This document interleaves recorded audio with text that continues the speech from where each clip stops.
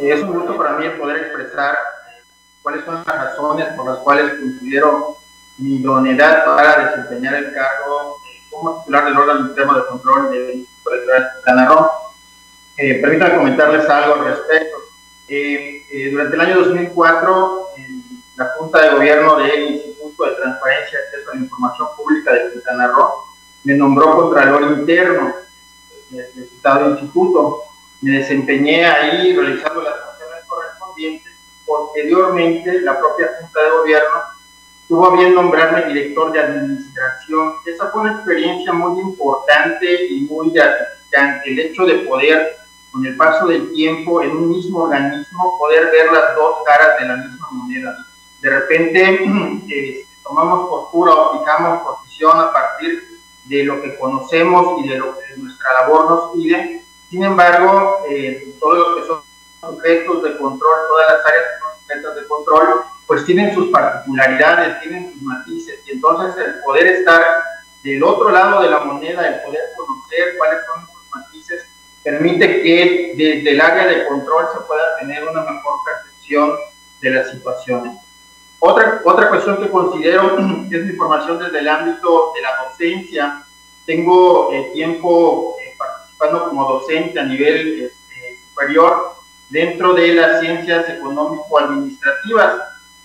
Y eso me ha llevado a, reflexionar el hecho de que por una cuestión histórica, básicamente a nivel latinoamericano, los órganos internos de control y las Contralorías en este momento hicieron poco y han hecho mucho poco en la parte financiera sin embargo, el origen mismo de los, de los trabajos de control dentro del proceso administrativo están orientados a coadyuvar a alcanzar el logro de los objetivos organizacionales.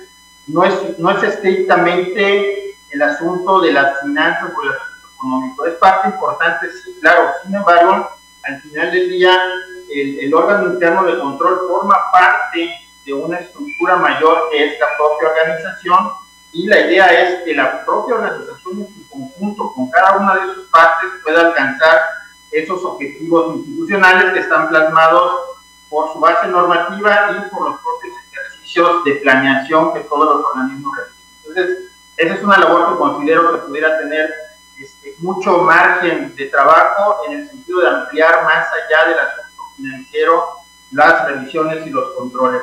Otra cuestión que considero importante es el hecho de haber trabajado en dos organismos autónomos, el propio Instituto de Transparencia de la Información Pública y la Comisión Estatal de los Derechos Humanos.